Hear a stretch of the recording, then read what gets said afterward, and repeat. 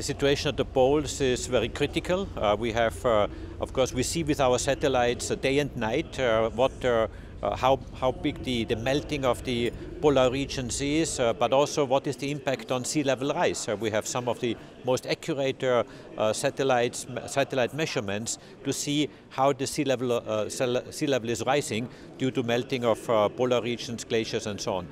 Climate is still the biggest crisis to deal with. Uh, it needs all the effort from everyone. Of course, uh, the political leaders need to make the decisions, but also on our side, from the space agency side, we are here to fully support uh, political polit politicians, uh, political decisions in order to implement what is required to understand, mitigate and adapt to climate crisis.